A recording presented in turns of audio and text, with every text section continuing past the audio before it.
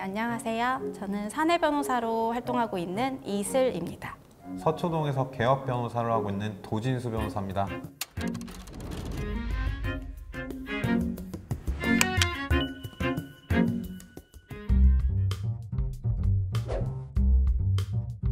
개업한 지는 이제 저는 6년 차가 되었고요. 개업 변호사는 주어진 출근 시간과 퇴근 시간이 없는 대신에 퇴근이 늦습니다. 영업을 하거나 의뢰인의 고충 상담을 들어야 되기 때문에 술자리가 잦은 편입니다. 아이 등원을 이제 제가 시키고요. 저는 아침에 고정된 시간에 출근을 해야 되고 그리고 퇴근 시간이 또 정해져 있죠. 그만큼 퇴근해서 돌아오면 아이의 엄마로서 주어진 역할을 다 하게 됩니다. 저희 남편이 생각보다 잠을 너무 잘 들었던 것 같고 근데 코를 좀 골았던 것 같아서 과연 그 소리가 얼마나 크게 들렸나 카메라가 안 보이는 사각지대에서 이제 잘 누워 있었는데 그 누워 있는 모습들이 이제 나와서 좀 안 좋게 비칠까 봐 그런 부분이 좀 걱정됐었습니다. 보통의 일상이었는데 이렇게 기록된 것을 보면 더 소중함을 느낄 수 있을 것 같고 또 특별한 하루라는 느낌이 있을 것 같습니다.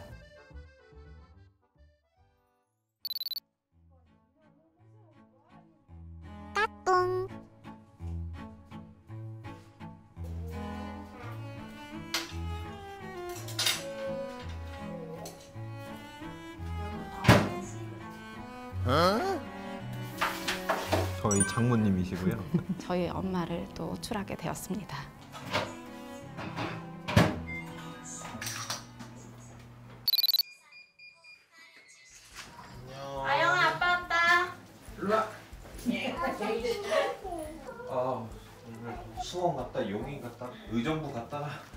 이런 게 나와야 된다니까 개업 변호사들은 전국 방방곡곡을 이렇게 다닙니다 얼마나 힘든지 아세요? 재판도 있고요 입회도 갔다가 뭐 교도소도 갔다가 뭐 그렇게 하느라고 이제 왔다 갔다 하는 거죠 어. 엄마는 퇴근하겠습니다. 무릎이 왜, 왜 상처가 났죠요? 김? 싫은데 아빠 우리 7월 20일은 무슨 사건인데? 그거 저택일이야? 휴정기인데? 휴정기 거의 표정기 전날인데 하루를 땡기든지 밀리든지 휴가 계획은 그건 못 바꾸는데.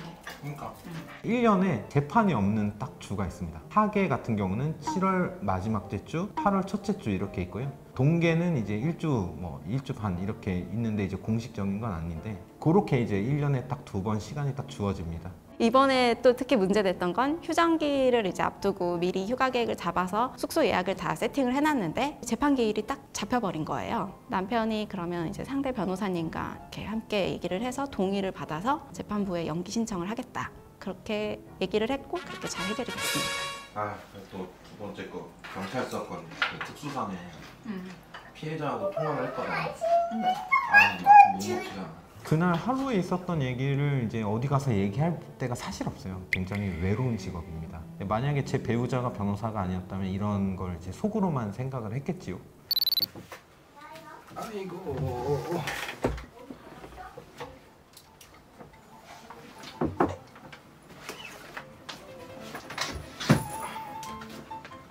기록이 굉장히 많기 때문에 그날 재판이 두 개다 이러면 기록량이 벌써 종이 기록 이만큼이 넘거든요. 그날 이제 취합해온 모든 서류들을 한 방에 이제 정리를 하는 것이고요.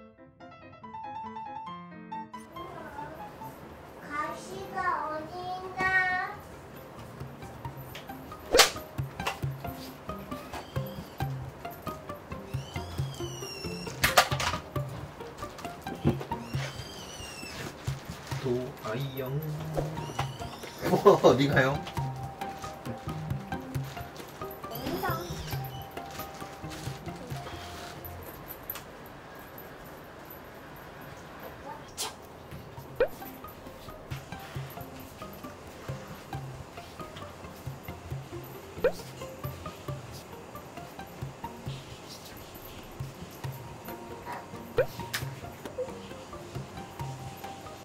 관심을 갈구하고 그러네, 이거 진짜 몰랐네.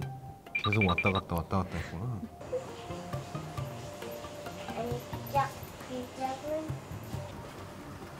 아영아, 이 친구들도 필요 없어?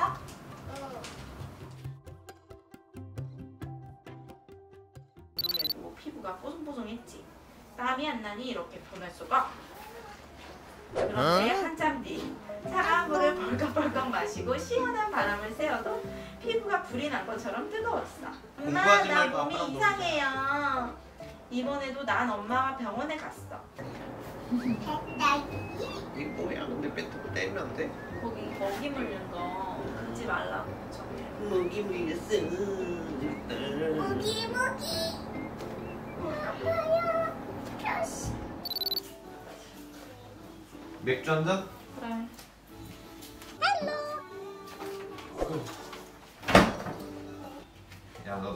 쓰냐? 뭐 쓰는데 또 뭐야?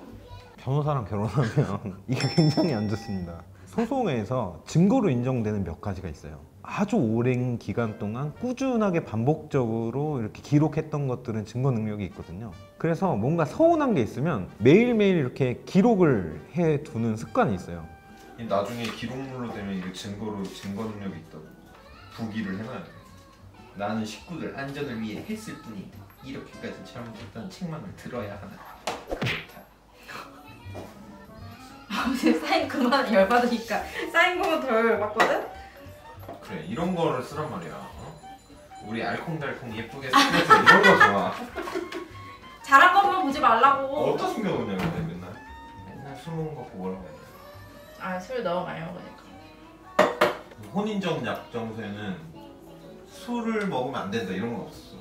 추가하자. 혼인 전 약정서라면 혼인 전에 이제 서로 보장받고 싶은 것들이 있을 거 아니에요. 나중에 이혼을 했을 때 그 약정이 지켜지게끔 하는 그런 제도인데요. 이제 보통 우리나라에는 실제로 그렇게 혼인전 약정서를 쓰시는 분은 잘 없고요. 트럼프 대통령이 이제 그런 것들 써가지고 뭐 이슈가 되고 이제 그런 것들이 있었습니다. 봐 거짓말을 한 적이 없지. 술 먹으면 술 먹었다 얘기하잖아. 투자, 보증, 연대 보증. 어, 동의를 구하지 않고 내가 한 적이 있냐고. 이것도 병이야 병. 이런 거 주면서 결혼하자고 하는 것들. 근데 어차피 이거 공정 안 받아서 효력이 없어요. 주장해볼 수는 있지 만약에 뭔 주종? 아니 그러려고 진짜 그 제도의 목적이 뭐랄까 혼인전 약정서는 너는 공증을 뒤에 받아야 돼. 너는 뒤에 편지까지 써서 줬어. 아니야. 편지가 있어? 뭐지? 편지가 어디 있어 없잖아. 여기 뒤에 붙어 있잖아. 심지어 이거 사귀자는 말할 때 송무 때문에 시간이 너무 없어가지고요. 피고용 법률 종이에다가 제가 써서 편지를 줬던 거예요.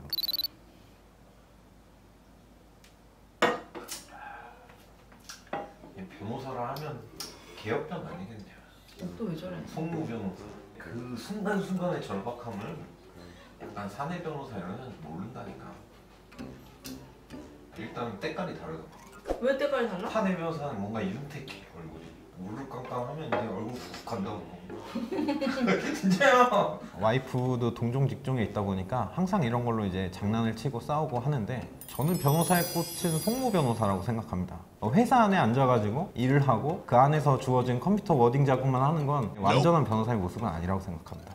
사내 변호사를 정확히 모르고 하시는 말씀이시고요. 사내 변호사라고 해서 송무를 전혀 안 하는 게 아닙니다. 소송을 해야 되는 일이 있을 때 외부의 변호인을 대리인으로 선임해서 해야 되기 때문에 송무가 어떻게 돌아가는지도 잘 파악하고 있어야 사내 변호사의 일도 제대로 해낼 수가 있다. 네, 그렇게 말씀드리고 싶습니다.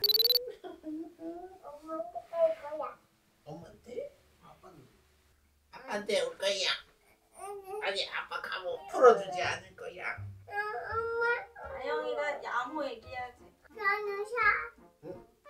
미안합니다. 도둑이 아니네요 도둑이 아니네요. 너 도둑이지 잡았다 변호사. 어 도둑이 아니네요 주변에 이제 애기 장난감을 보면 다 의사 선생님, 뭐 치과 의사 이런 건 다 있거든요. 근데 이제 변호사에 관한 어떤 뭐 아이가 이해할 만한 그런 내용이 전혀 없습니다. 아 변호사가 뭔지 설명을 해줘야겠다. 그래서 이제 꽉 껴안고 이제 감옥이라고 하고 있다가 아이가 변호사라고 얘기하면 이제 풀어주길 시작했거든요. 변호사 이제 안 돼? 근데 변호사가 아니면 풀어줄 사람이 없는데? 도둑인 잡혔는데 억울하면 어떡해? 변호사 이렇게 해야지. 아니야? 자 괜찮아. 갑니다. 아영이 잘 자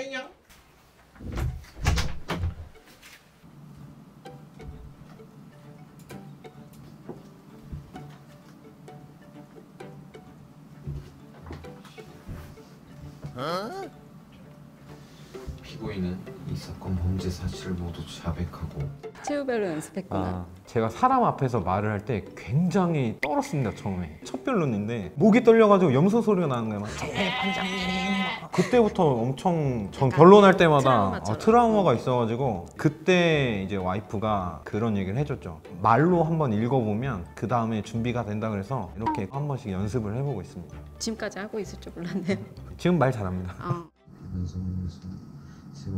삶을 구정의지의 표현으로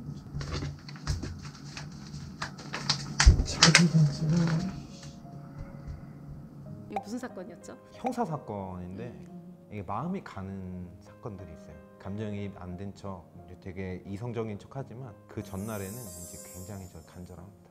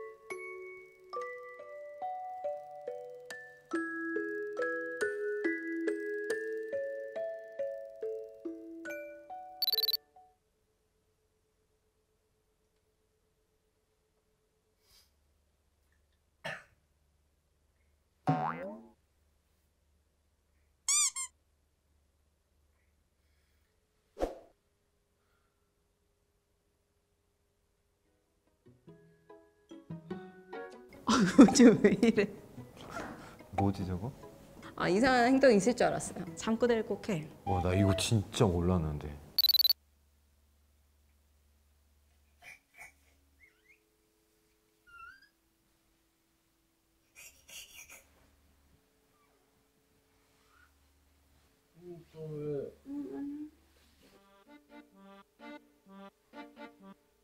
뭐 하는 거예요 손으로? 손이 닿지가 않네.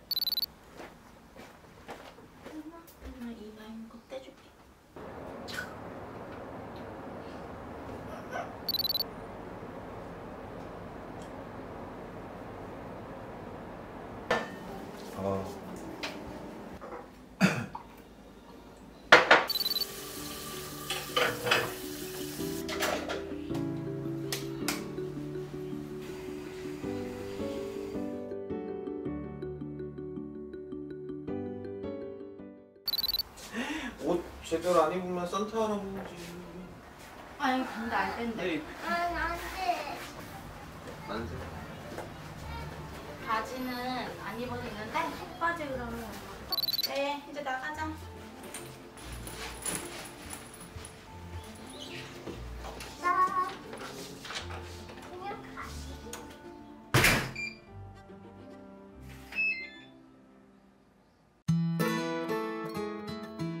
저는 좀 영상을 보고 충격을 많이 받았습니다. 아영이가 같이 놀자고 손을 많이 내밀고 있었구나 이런 걸 많이 느꼈습니다. 최대한 이제 일을 좀 빨리 해서 집에서는 일을 좀 줄이고 아이가 이제 찾아왔을 때 같이 좀 많이 놀아주고 그래야겠다는 생각이 들었습니다. 저 같은 경우는 이제 회사 일을 막 집으로 가져오는 일이 거의 없거든요. 우리 남편이 바쁘다는 얘기를 많이도 하지만 가는 곳마다 계속 또 일을 해야 되는 기업 변호사 입장은 얼마나 또 힘들까 그런 생각도 하게 됐습니다.